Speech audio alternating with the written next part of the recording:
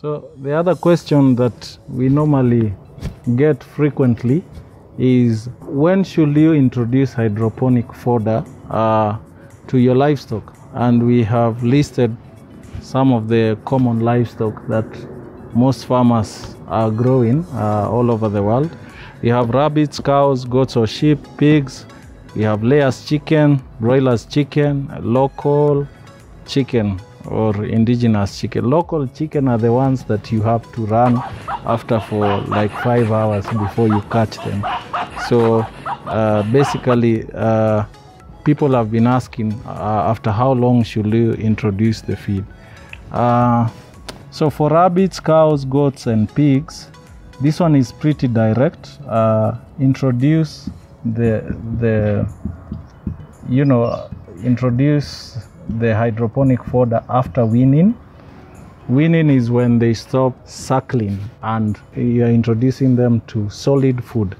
So basically, uh, at the time that you introduce solid food to these four sets of livestock, that's when you should introduce hydroponic fodder.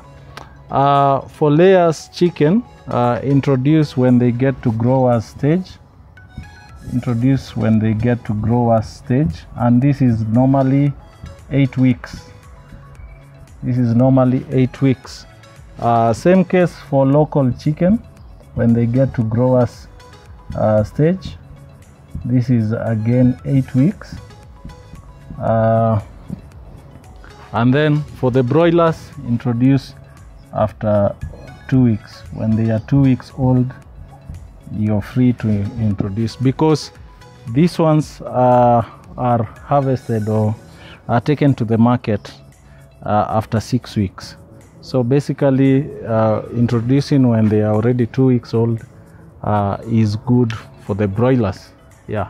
So basically that's how uh, you should introduce uh, the chicken. Remember again you should introduce the fodder gradually gradually. Uh, so for all those calculations that you will get on our website or that we have listed before introduce gradually. So you don't have to do the whole 50% you can introduce gradually. 10% this week tomorrow 20% the other week 30% until you get to whatever uh, percentage that is recommended for the livestock yeah.